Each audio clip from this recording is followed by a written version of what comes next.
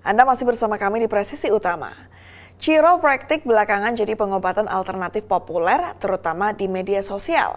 Salah satu ahlinya, Tyler Bigenho, berpraktek di Newport Beach, California. Tyler yang berdarah Indonesia dan Amerika Serikat ini pun jadi langganan bagi selebritis lokal dan juga internasional. Kita simak laporan selengkapnya dari VOA. Okay, you're not gonna fall. I got you. Okay, gonna come right. Di tempat prakteknya di Newport Beach, California, Tyler Bigenho menyesuaikan tulang-tulang pasiennya. Right there. Nice. Tyler buka praktik sejak lulus pendidikan chiropractic di Southern California University sekitar tahun 2019 lalu. So growing up, my dad, he had the worst back in the world. He would always bend over, ugh, and then we'd be, oh, we got to take him to the chiropractor again. So that was my first experience with the chiropractor. Combine that with learning that I can feel things and other people.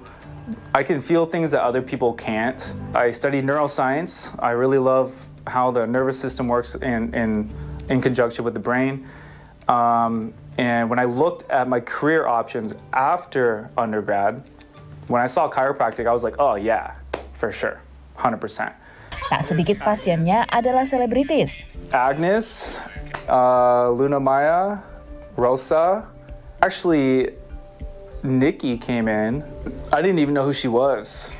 You know, she she didn't even hit me up before. She just booked as a client. She just came in and she was just like, I need to like get this album out really soon and like I'm really stressed. Popularitasnya melejit sejak ia menggunakan platform media sosial untuk memperkenalkan bisnisnya.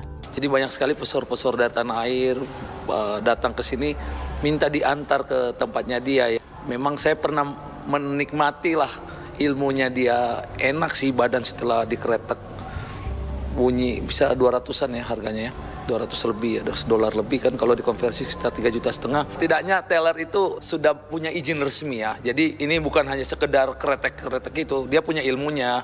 Tyler yang berketurunan Indonesia dari sang ibu pertama kali mengunjungi Indonesia pada September 2023 dan mendapati banyak yang bisa ia bagikan sebagai chiropractor di Indonesia. Lewat profesinya, Tyler ingin lebih memperkenalkan chiropractic sebagai pengobatan tambahan yang aman. there are risks involved with anything, you know? If you look at the numbers of an accident, the odds of an accident happening during a chiropractic adjustment, you should never get into a car because the odds of you getting hurt in a car are like astronomically higher.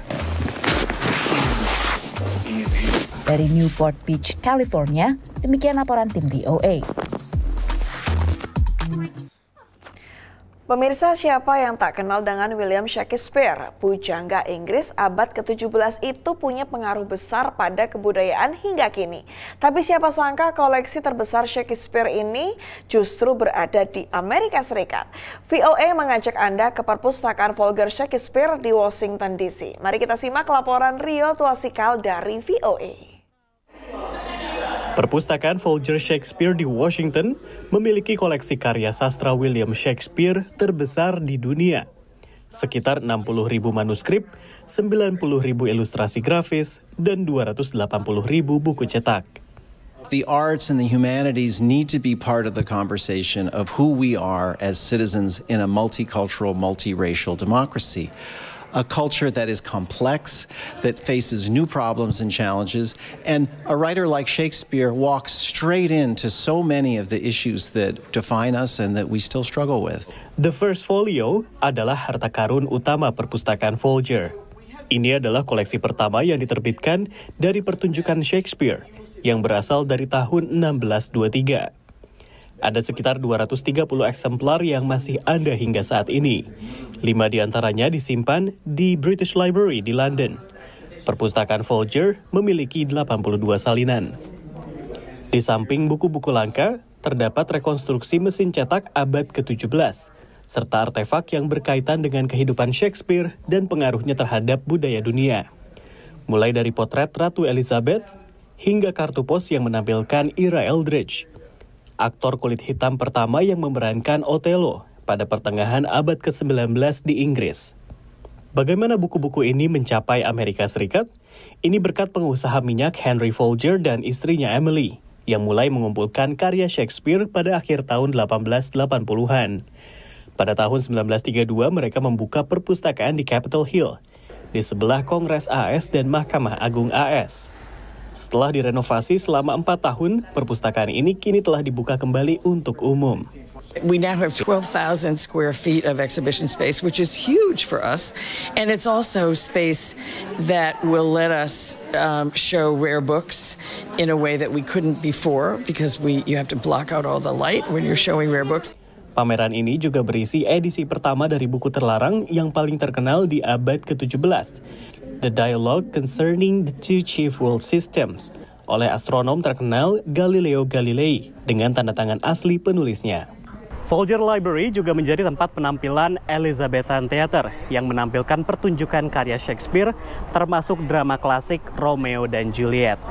Selain buku, perpustakaan ini juga hendak membawa suasana Shakespeare lewat gaya bangunannya, seperti kaca patri bergaya gotik, hiasan lilin, serta bunga-bunga dan tanaman yang berasal dari drama Shakespeare, seperti lavender, rosemary, dan magnolia. Dari Washington DC, saya Rio Tuasikal dan tim VOA. Tetaplah bersama kami, presisi utama akan segera kembali.